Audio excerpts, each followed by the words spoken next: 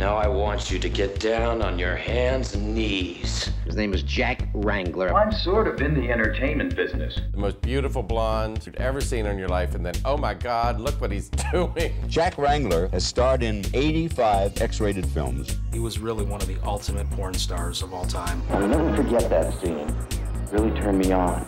A creature of the 70s, a creation of the 70s. Nobody does it better than Jack Wrangler. You couldn't open up a magazine without seeing him. He was everywhere. It's his hottest role ever. Jack was a reason to go see a movie. Slow and sexy. And what's a nice boy like this doing in a profession like that? I worked very hard to become Jack Wrangler. The primary vibe that Wrangler gave off in these films was very, very convincing lust. I have got to get laid. He had this incredible virility, erection ability. Is that a word? It is now. Oh, yeah, man. He might have smoked a cigarette like this. I can see myself at this bar. Jack Wrangler's coming on stage, and I was in the perfect spot.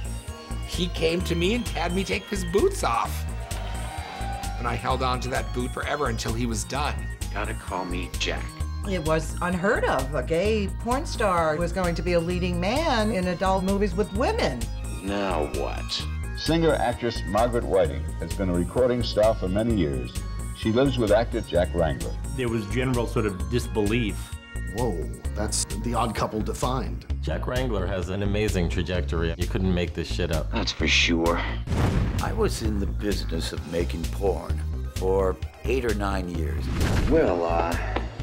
And yet now, 30 years later, whenever I do anything, if I write the libretto to a ballet, I did that.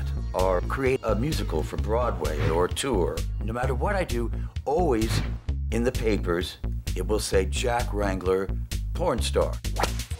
Now, it's been 30 years, and believe me, I wasn't that good. It will follow me the rest of my life. Getting it up, getting it on, and getting it off. Man, it's beautiful. It's been a hell of a ride.